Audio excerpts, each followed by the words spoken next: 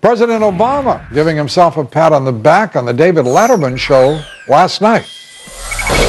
One thing I've never tried to do, and I think none of us can do in public office, is suggest that because somebody doesn't agree with me, that they're victims or they're unpatriotic or they don't uh, have a sense of. Uh, I, I, tell you, I and, and I.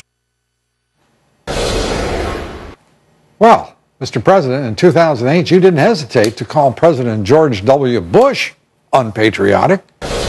Number 43 added $4 trillion by his lonesome so that we now have over $9 trillion of debt that, that we are going to have to pay back. That's irresponsible. It's unpatriotic. Ooh, unpatriotic.